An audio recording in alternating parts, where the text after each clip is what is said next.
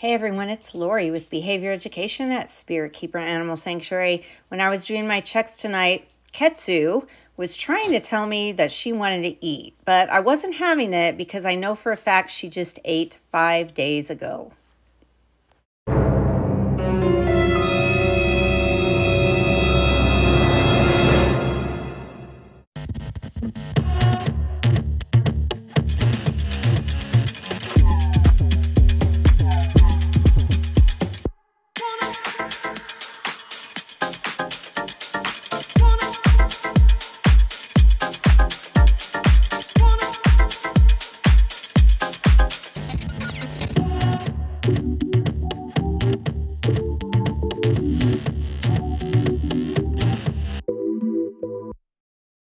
Thanks for spending a brief moment with me as I do my animal checks this early Monday morning, August 12th, 2024.